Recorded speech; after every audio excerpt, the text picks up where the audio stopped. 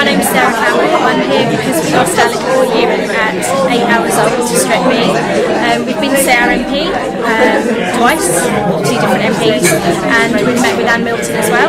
So we're here today to for strep B and raise awareness.